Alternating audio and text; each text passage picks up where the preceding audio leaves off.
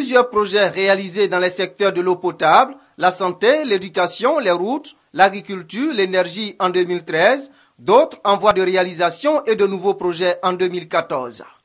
La Côte d'Ivoire est en chantier depuis bientôt trois ans, ce qui lui a valu d'être classée dixième au nombre des premières nations en croissance dans le monde. Kabaniale, la ministre en charge de l'économie et des finances, se félicite des ressources mobilisées par son cabinet, le gouvernement, les responsables des structures sous tutelle, auprès des partenaires techniques et financiers pour la réalisation de ces projets. Au total, 72 milliards 400 millions de francs CFA mobilisés auprès du Fonds monétaire international FMI sur la période 2012-2013 et 863 milliards de francs CFA en interne en 2013 contre une prévision de 806 milliards de nos francs.